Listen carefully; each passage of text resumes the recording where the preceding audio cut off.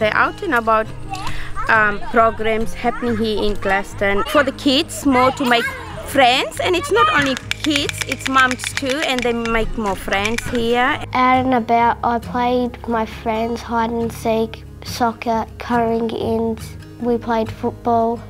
I got to see my friends out and about, otherwise I can't.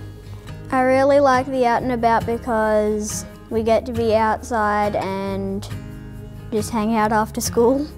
They were just so excited about it. Like in the in the days leading up to it, they would talk about it, and the, you know they'd run home that night, and they'd be so excited to go out and, and see the other kids, and it just really gave them something to look forward to.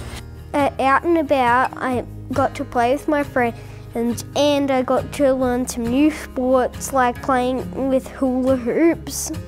My children learn from our and about program, learn how to share, learn how to play with other kids and get more confident for him. Yes, that's very important. At the program I did watch a movie, play with my friends and play outside. I'd like to have it out and about so I could still play with my friends. Because some people live away from other people and it's hard for us to go to each other's houses and stuff after school, so the out and about makes it easier.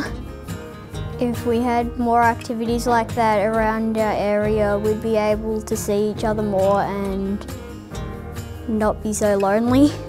Children's able to make new friends in our surroundings, having a chance to more physical activities. So that's very nice for kids to do things like that and not sitting at home, doing nothing, playing in the iPad. So we love this.